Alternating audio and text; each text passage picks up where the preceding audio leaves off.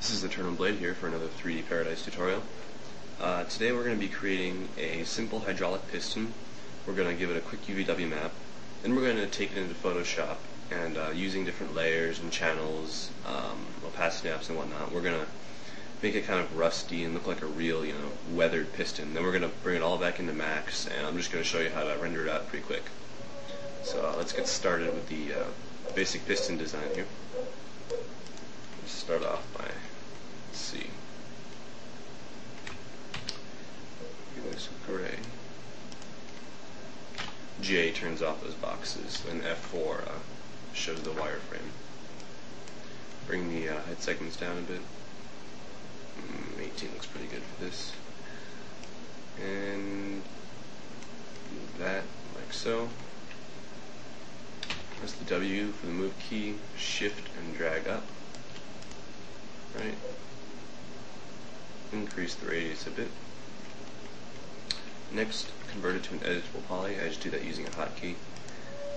Um, select the polygon on the bottom here, and you're going to want to inset it, and just so it's right outside of the other one, and then extrude right back up. Alright. Next, um,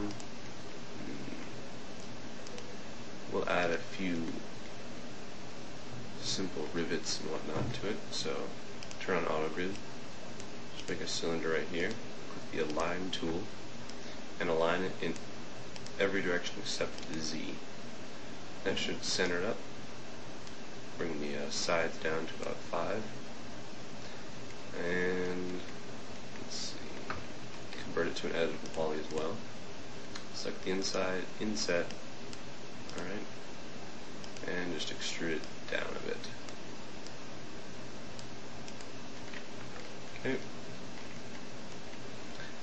And we'll just clean this up a bit by selecting this edge, loop, giving it a small chamfer. Do the same on the top. Alright, select the uh, top here, control click on edge because Max doesn't loop on end pieces like this for some odd reason. And there we have a quick piston, or a hydraulic piston I guess. Goes up and down. Um, next let's just add a small connector piece.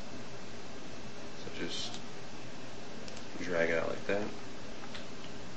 Move it right back in convert to an editable poly. And let's actually scale this down a bit. Alright. Select these vertices here and bring them back. Select this um, top polygon and just kind of make a quick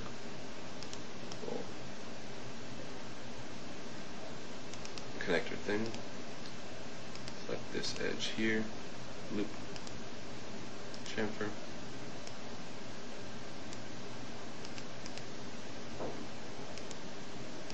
That looks pretty good. Control A to select everything, just give it a gray material to start off with. And there we have our basic little piston thing with a place for a hydraulic hose to go somewhere else and a nut shaped object on top. Next, let's give it a UVW map. So, unwrap UVW, and let's go to edit and just see what we have here. Sorry about that. So it looks pretty much like a mess, which is to be expected. Um, select face, press Control A to select everything, mapping, unfold mapping. And, hmm. Let's try normal mapping. It's not bad.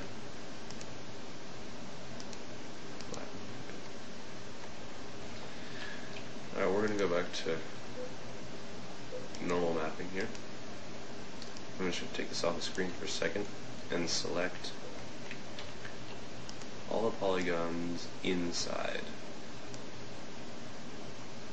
There should be a grow button somewhere. Alright, well, just manually do it. Because there's no real point in texturing these inside ones, um, as you're not going to be able to see them. Alright, now they're all selected, just see if you can drag them out of the way. And they're connected, so go Tools, Break, move them off. Next, we have to figure out where these things connect. So, select this.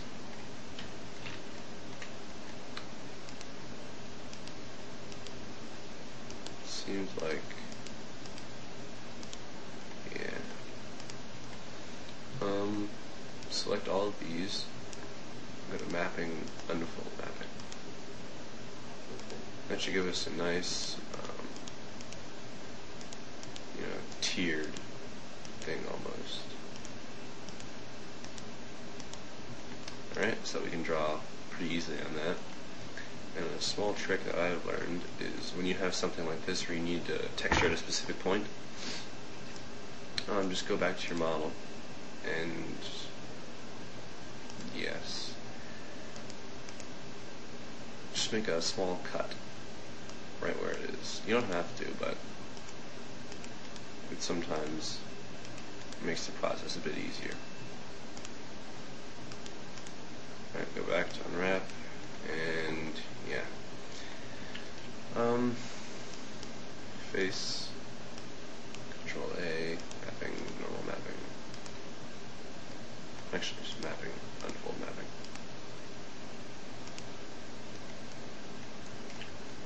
Select inside.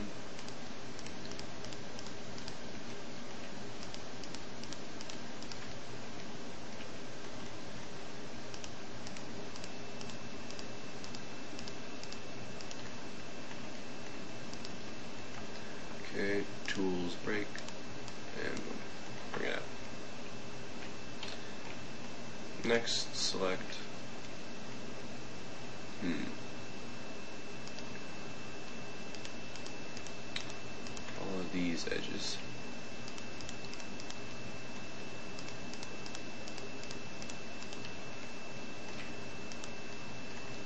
And then all these little chamfered ones as well.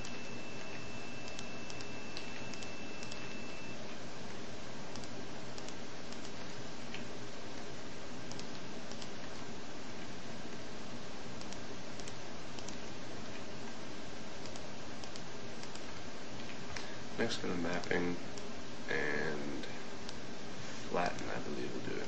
No. Uh, normal. Nope.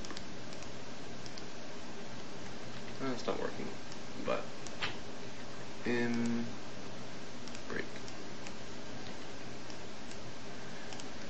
Alright, we'll just manually position these then. So go to the vertex sub-object mode here make sure you're in the move tool and then just align these.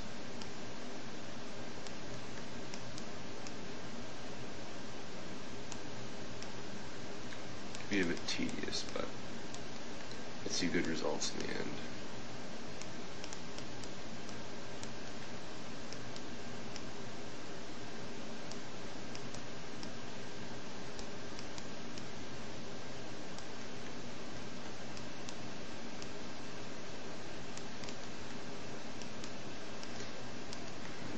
rest of these down.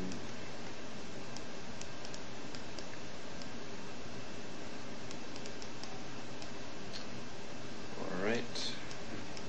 And we go to the other side to do stuff.